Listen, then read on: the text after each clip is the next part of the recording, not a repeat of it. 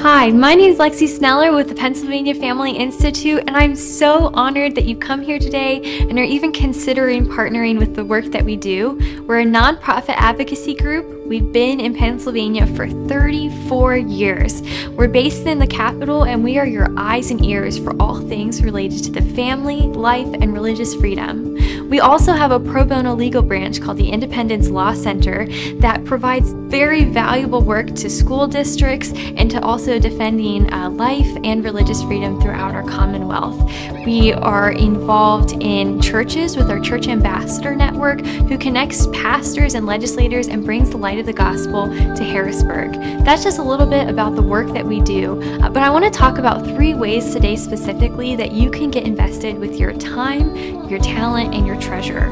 We so appreciate the countless prayers that people have poured into the work of the Pennsylvania Family Institute. I can tell you countless stories about all the ways that God has opened incredible doors and that He's changed hearts and minds in ways that are far beyond our own ability and power.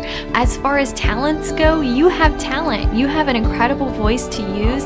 And finally, for your treasures, we are completely funded by partners like you all across our Commonwealth. And so we would be so humbled if you would consider contributing to help us continue the work we do, to come alongside us and partner with us because we could not do all we do without your help and support. We thank you so much for all the, the ways that you've supported us over the past three decades, and we continue to. Uh, look forward to working with you and working on issues that are near and dear to all of our hearts. Thank you so much.